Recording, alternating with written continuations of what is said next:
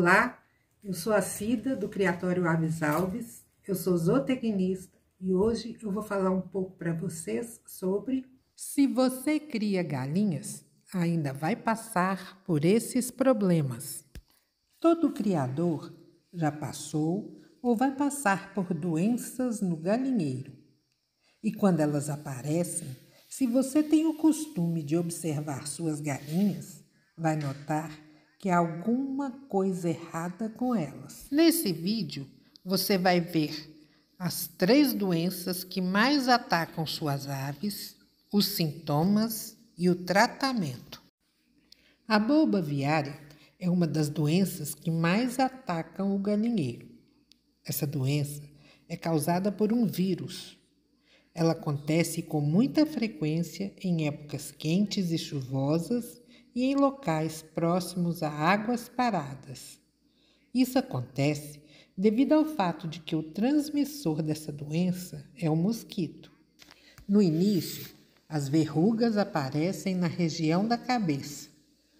Quando em estágio avançado, pode espalhar pela barbela, pernas, pés, nas pálpebras, que podem levar à cegueira, e também aparecem na boca, formando placas, impedindo que a ave se alimente. E atenção! Como essa doença é causada por um vírus, não adianta fornecer antibiótico para combater a doença. Antibióticos combatem doenças bacterianas. A melhor forma de evitar essa doença no seu galinheiro é vacinando suas aves. Caso isso não seja possível, o único remédio que combate essa doença é a tuia. É uma tintura extraída da planta Tuia occidentalis. É uma planta muito usada para decoração de árvore de Natal. Pode ser aplicado diretamente no local ou diluído em água. É uma colher de chá de 5 ml para um litro de água. Forneça durante uma semana. Aí vou passar com o cotonete, eu passo cada feridinha dessa dela, eu passo nela. Elas não gostam, né? Elas vão espinhar um pouquinho. Acho que arde, né? Mas tem que passar para tirar. Tá vendo? Molha o algodão lá. Pronto. Eu vou fazer do outro lado também.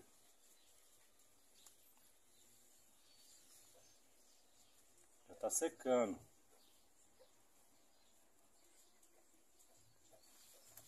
Aos pouquinhos ela vai melhorando. Como é um remédio natural, ele vai demorar um pouquinho mais. Mais Sara. Coccidiose é uma doença causada por um parasita que afeta diretamente o intestino das aves. Ele ataca tanto aves jovens quanto aves adultas e as aves recém-nascidas são as que mais sofrem. Essa doença é a que mais mata pintinhos nas primeiras semanas de vida. Ao contraírem a coccidiose, as aves mudam o comportamento e começam a aparecer mais tristes, arrepiadas, asas caídas e amontoadas nos cantos da criadeira ou do galinheiro. A diarreia provocada por essa doença é sanguinolenta e pode matar as aves em poucos dias se não forem tratadas. Os pintinhos precisam ser tratados com remédio diferente das aves adultas. Trisulfim. Eu utilizo para combater a coccidiose e a diarreia branca em pintinhos com até um mês de idade. Eu misturo 2 gramas de trisulfim em um quilo de ração e forneço para os pintinhos durante sete dias. Não adianta tratar franguinhos e aves adultas com trisulfim. Ele se torna um antibiótico fraco para o combate do parasita.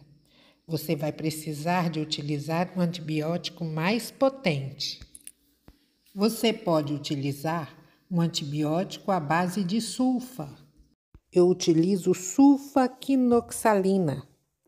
Ela combate a coccidiose. pentabiótico 1200. Ele age imediatamente sobre a infecção e oferece proteção prolongada para a galinha. Por isso, ele deve ser administrado somente no primeiro, no terceiro e no sexto dia. E você já vê resultado logo na primeira aplicação. E essa aplicação poderá ser feita no peito ou na coxa da ave. Já o Avemil é muito eficaz quando você consegue identificar a doença em seu estágio inicial. A coriza infecciosa, também conhecida como gogo, pode ocorrer em qualquer idade, porém, as aves adultas geralmente estão em maior risco e a doença é frequentemente observada durante a fase de pico de postura. A galinha infectada é uma ameaça constante para as galinhas não infectadas. Ela é transmitida principalmente por contato direto de ave com ave. Além disso, as aves também podem contrair a doença respirando bactérias transportadas pelo ar e consumindo alimentos ou água contaminados.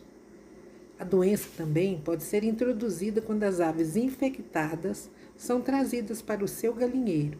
Por isso, a grande importância de se fazer a quarentena em aves recém-adquiridas. Sempre que você comprar aves, antes de colocá-las junto com as suas, deixe-as em local separado em torno de 30 a 45 dias.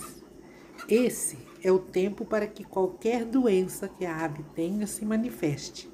Coriza infecciosa é uma doença bacteriana e essa bactéria fica incubada na ave no período de 1 a 3 dias. Incubação é o tempo que a bactéria leva para se desenvolver no organismo da ave, até surgirem os primeiros sintomas da doença. E nesse período de incubação, é provável que você não perceba nada de errado com suas aves. Um galinheiro úmido, sujo, com excesso de aves, é o terreno ideal para a reprodução da bactéria. Galinhas podem ser curadas dos sintomas e sobreviver à coriza. Porém, algumas outras espécies não são capazes de superar a doença. É o caso da codorna. Se você cria codornas e de algum modo elas contraíram a doença, dificilmente vão sobreviver pois elas não conseguem eliminar as bactérias com a mesma eficiência que as galinhas. Os sinais clínicos da doença são corrimento nasal fétido, grosso e pegajoso nas narinas e olhos, inchaço facial, respiração ofegante, espirros, bico aberto, lacrimejamento, diarreia e diminuição do consumo de ração e água, causando fraqueza e dificuldade em andar. A coriza infecciosa pode apresentar dois sinais clínicos neurológicos muito importantes de serem observados. São eles a desorientação e o torcicolo. E isso se deve principalmente à inflamação na orelha e otite interna, Otite é a inflamação dos nervos. E esse sinal clínico se assemelha à doença de Newcastle. Diante disso, cuidado com os diagnósticos precoces. Tratar essa infecção com antibiótico errado não só será inútil, mas pode prejudicar sua ave ao longo prazo e possivelmente criar alguma resistência a antibióticos no futuro. Cuidado! O uso indiscriminado de antibióticos pode alterar a resistência das bactérias que causam a doença e tornar o medicamento ineficaz no seu combate. Para o tratamento, você pode usar antibióticos à base de doxiciclina ou tilosina.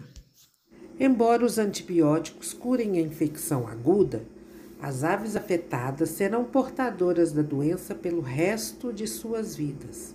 A bactéria causadora da coriza infecciosa não resiste ao calor.